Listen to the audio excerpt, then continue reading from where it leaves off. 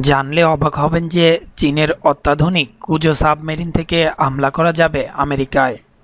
চীনের অত্যাধুনিক গোপন সাবমেরিনের পরমাণু ক্ষেপণাস্ত্র দিয়ে আমেরিকার মূল ভূখণ্ডের প্রায় যে কোনো স্থানে হামলা করা যাবে।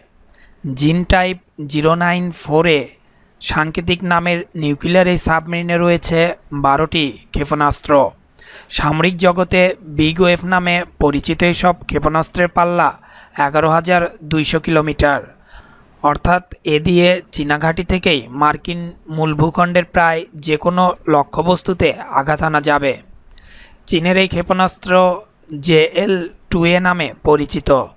গোপনেই ডুবোজাহাজের স্টিলথ বা রাডার ফাঁকি দিতে পারে। তার জন্য একে কুজো সাবমেরিন বলেও অভিহিত করা হয়। ডুবোজাহাজ পরিকাঠামোর কিছুটা অংশ ফুলে থাকায় এই নাম দেওয়া হয়েছে। এই অংশে ক্ষেপণাস্ত্র বহন করে এই সাবমেরিনটি।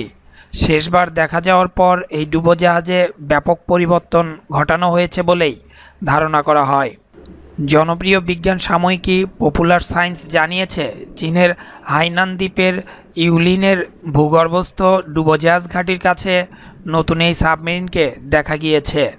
এই শ্রেণির পুরনো সাবমেরিন জিরো নাইন ফোরের চেয়ে নতুনটির গঠন রীতি উন্নত করা হয়েছে। এতে জলের বাধা কাটিয়ে তীব্র বেগে চলার সুবিধা রয়েছে জিরো নাইন ফোর এ শ্রেণির ডুবোজাহাজের।